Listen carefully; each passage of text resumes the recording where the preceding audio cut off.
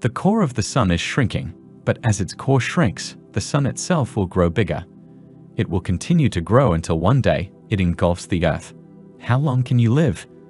What will happen to the ocean? Will other planets be affected? Every 1 billion years, the Sun becomes 10% hotter.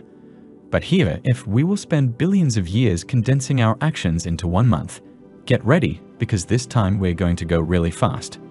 Instead of 1 billion years, it only takes 4 days for the Sun to become 10% hotter.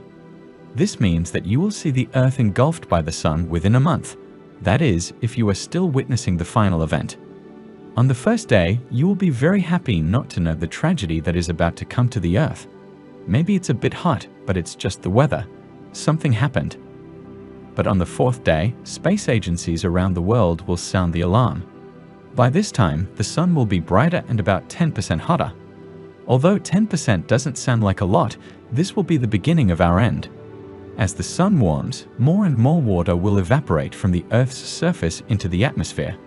This will increase the impact of greenhouse gases and cause global temperatures to soar. Suddenly, it will become very humid and very hot. But the high energy light of the sun will bombard the atmosphere, splitting these water molecules into hydrogen and oxygen. The Earth will begin to lose its water. You will not be able to escape the deadly radiation on the surface of the Earth. If you want to survive, you must go deep underground. But even under the protective layer of the Earth's soil, you will not be safe for a long time. By the 16th day, the sun will be nearly 40% brighter.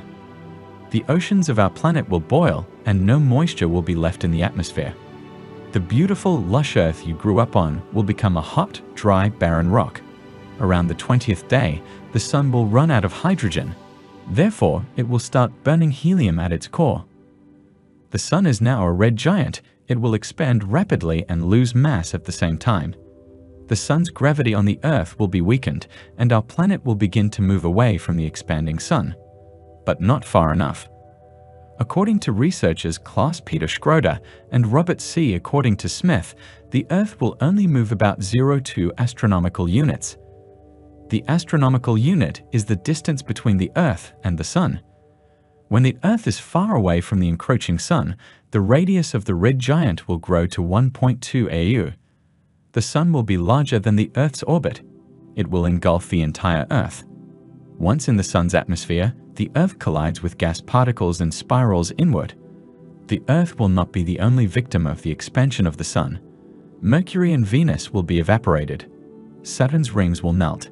Pluto will become warm. If there is a liquid surface and a thick atmosphere on this distant dwarf planet, it may even become habitable.